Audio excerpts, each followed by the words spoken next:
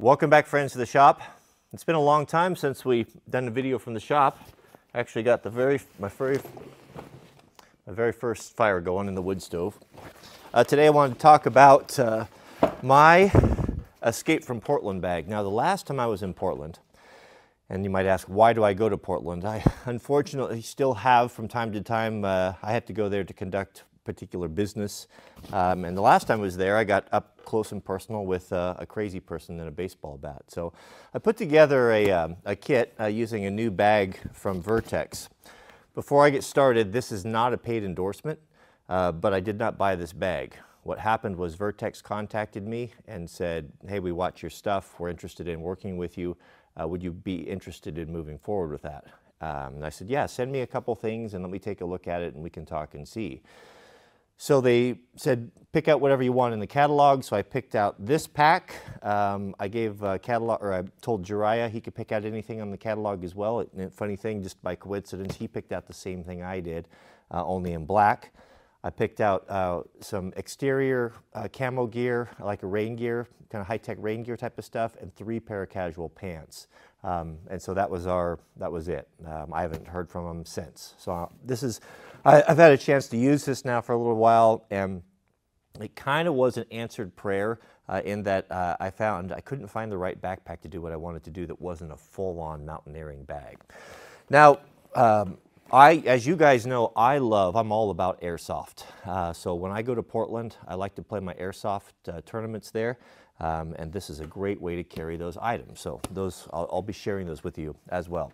So what we have here, and I think why it's so appealing, is a very nondescript uh, backpack. It looks like something you get from REI. It actually looks to me to be very similar to something from Arc'teryx. Interesting thing you'll see on it, really, unless you really know and know what you're looking for, there's no logos, there's no MOLLE, there's nothing to make it look like it would belong to anyone outside of just your your good-natured Pacific Crest Trail hiker, right? So that's the nice aspect of it. It doesn't scream anything uh, like that. However, that's where it, its features kind of, um, well, there's a lot of hidden stuff inside that's really unique to this, which we'll see here. On the back panel, you've got um, irregular, you know, ergonomic, um, you know, your modern style shoulder uh, risers there with your chest strap. And one cool feature here that I really like, especially for this type of application where I might need to grab it like a duffel or wear it like a backpack, it gives you that option. Sometimes some of those packs have those huge waist straps on there and they just catch on everything, especially if you travel with air. This has a good padded waist strap, but it's designed to go inside of here uh, if not needed. And you could pull it out. So if you needed to ruck this or uh, just have that extra support, it's there for you, but you're not dealing with it. So you can really, you know, strap it down, bolt it down, and get to, and really make it small and compact. Now you've got a great big reinforced loop here that you can grab. Over here, what I typically grab and what I really like is this, a big reinforced, just, just a grab, kind of a grab handle that's sewn into the lid and it's got that rubber reinforcement so you can get really good traction on it. And that's what I tend to grab. When I'm grabbing this and, and taking it in and out of the back of my truck, this is typically what I grab, and I like that. External pockets, nothing new here, um, but that's basically it. So I like that aspect of it. Be nice to see maybe even a handle on the side here, just as a future note that you could grab it and kind of carry it suitcase style. Uh, you know, that's the way that it's designed, it would lend itself to that because being so long and tall, and there's a reason for that, uh, it is a little bit difficult. You know, you have to hold your arm up, and if you were shorter, it might drag on the ground. So, I don't know, just something to think about. But let's take a look inside. So, we've got lots of different compartments, but the, the, I'm really going to focus on the two main compartments that really matter. So, if you need to get access to this bag, like really, really fast, what you have here is you've got a really big kind of a rubber tab on here uh, that is just a way for you to index it. And these zippers and how this works is, I got it on the wrong side here, how I would do it is you can release these risers really quick and kind of flop that out of the way. That's what I should have done. But you, by grabbing this tab right here, you can pull this out. Now this opens up uh, to a very interesting compartment that you can kind of custom uh, build out, right? for lack of a better word. It's got the soft, uh, some sort. It's a, it's like a Velcro, but it looks it's a little bit nicer. It's a little finer. Uh, I don't know what what it's called, but you can get different accessories. You know, this of course is my my airsoft here, my 19X. Um, you can get different um, holders. Uh, you know, for your airsoft magazines. Can see the yellow pellets in there. Uh, those will fit in there. Maybe you want to put a Surefire, an X300 flashlight, you can see there. Now this is of course my abdominal, abdom I, I, can never pronounce that. the sack that contains my uh, first aid kit uh, and supplies uh, that would go onto uh, a chest plate carrier. Or you could just access it right here, right? We've got our, our TK there and all the things we need inside. Now, you can see here, if I hold this up kind of upside down, this is a pretty good sized panel right? That's a big area. And this has a sleeve in it so that you could put, um, how do I put this, a ballistic uh, type of soft or even hard uh, shell plate in here. And the way that it's designed to pass through, you know, when it's not loaded up with all this heavy weight, you can put your arm through. Let me zip it up here and show you.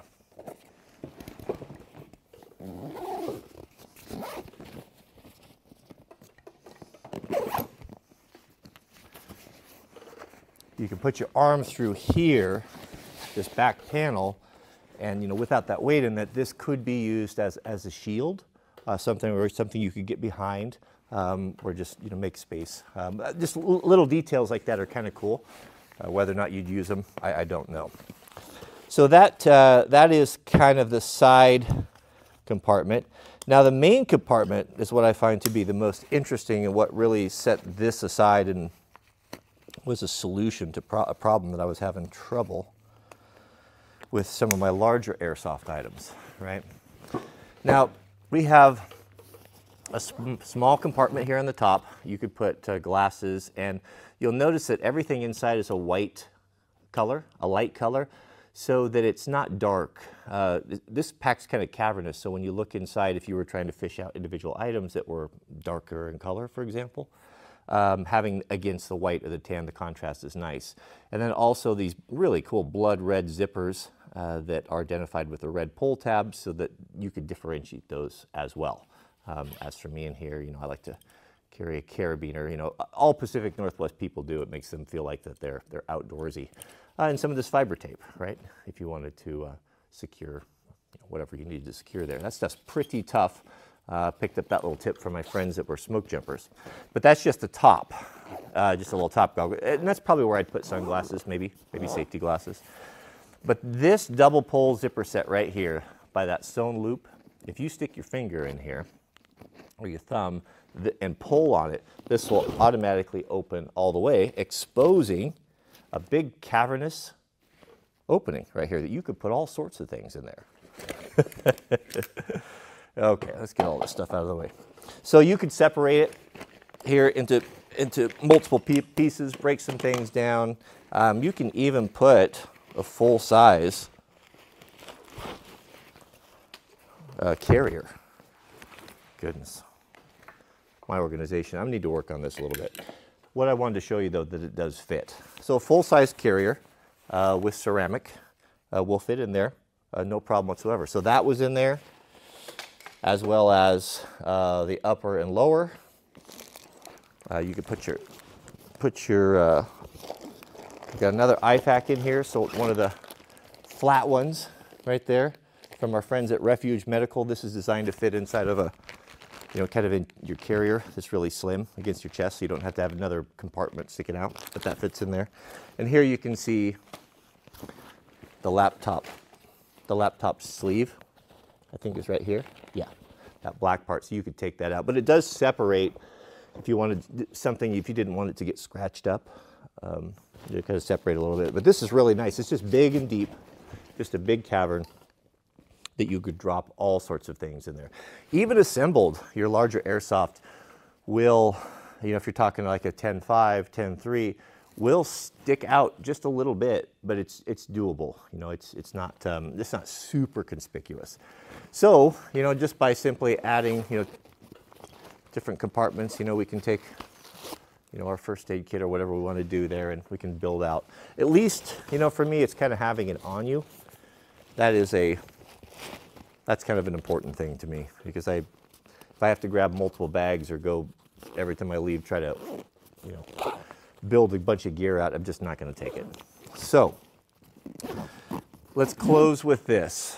Uh, overall, the quality of the bag, in my opinion, is on par with, I mean, it's really similar on par with what I see from, like, you know, what you're going to get from REI or your old Dana stuff. It's really nicely made. It's the, the materials are really modern. Uh, it's very, I mean, it's a really nice hardware, um, not overly complicated. You know, you've got pockets on the outside that you can drop things into, i.e. like water bottles or if you wanted to put your radio in there. Stuff you can access from the outside. I even threw in here, you know, half a dozen you know, bags of um, like salty nuts. Nut mix uh, is always good. You know, just have some quick protein or some power bars. I think I got a couple of those things in there. Uh, the last thing on here that I didn't tell you is if for some reason, you know, you wanted to, you wanted to go out and, and LARP and to have more of a, um, of a tactical look, I guess, you can completely change the, the look of the pack. This is kind of a kangaroo pouch here, so this is something that you could store uh, poke a jacket in, right? Or just something you need to store really quick that's secured with these really nice aluminum buckles that just hook over the loops. You know, they're, they're pretty simple. They come right out. And then there are a couple snaps here. If you yank on these snaps, oops, I carry airsoft holster there. Uh, now you have a paneled, a MOLLE paneled back that you could, of course, it just makes the whole thing look different. And now you've got your Vertx logo, which you can't see without it. Now this opens here, and this can be stored up inside, so you wouldn't even know it was there. So that's a that's kind of a nice feature. You know, you could you've got your LARPing mode, and then you've got your normal. I'm just carrying me book bags back to the university uh, type of look, right? Which is nice to have the options. Um, but great, lots of storage in this. I mean, you saw all the stuff that I had in there. It was a little bit hard to get out, but you know, better to have it with you, even though it's a little bit tough. And then with winter coming on, you know, one thing a guy doesn't want to overlook is what if you get, guy gets caught out in bad weather? You know, at least, at least have a, a rain jacket with a hood on it. Uh, if nothing else, if you can get pants as well. And so this was the other thing that I ordered from them. And I haven't really used it yet. I'll put some, this kind of through the test, but I, if you wanted to blend in, right, or if you wanted to maybe go to a Halloween party dressed up as a, um, as a soldier, this would be a really good costume you could wear. Uh, but this is going to be breathable, 100% waterproof, um, and cut big enough to go over, uh, you know, all of your all of your stuff. But I've got the jacket fits on one side if I roll it up tight, and then the matching pants I have over here on this side. You can see that they do fit in there. And now you've got the ability to stay warm and dry uh, when it's raining because it rains a lot uh, when you're trying to escape from Portland. So that's it. I think that's basically all the stuff that I had in there. Thanks for watching. Oh, uh, I guess what was my final opinions on this? We're not done yet. It seems like a really good pack. If you were to ask me, if I were just to blindly look at this, um, not knowing really anything or who the brand was, I would think that this would probably be in the $300 price range or so, maybe 325, maybe even 350. There's a lot of detail. Um, it's really nicely made. I like the materials. It's a lot of, even little loops there if you wanted to run a hydration. You know, just lots of daisy chaining, nice hardware, thoughtful to be able to have put panels in. It's nice, uh, but I think they're $199. Uh, I went on Amazon and I was looking at them, and you can get them in lots of different patterns. Jiraiya got a black one. I got, of course, the green one, but all of them look and could be used just as a regular day pack or even a, a light overnight pack. Uh, they do have a lot of space, a lot of room in them. But for $199 uh, with all of the features, and especially for those of you who like to play airsoft, you know, it really accommodates that well. Um, it seems like a great deal. I also, just as a side note, noticed on Amazon it had a lot of ratings, and it was one of the few things that I've seen that has a five-star rating. So it's not just me, and it uh, seems like people are happy with it. And for 199 it seems like a pretty good deal. I'll put an Amazon affiliate link uh, in the subject heading. Uh, if you're interested in it, want to go in there and pick one out, you can do that. Help support the channel. And thanks to Vertx for sending this. I will be wearing their casual pants. Uh, they're kind of interesting as well. They have a lot, they, they don't uh, look um, out of place really, but they have a lot of really good features uh, similar to this. And I'll wear those over the winter. And, and uh, if it's something I want to do, I'll get back to you on that as well. All right, Mama Kitty, thanks for watching. May God bless you and your families. Please keep us in your prayers, and we'll see you all on the next video.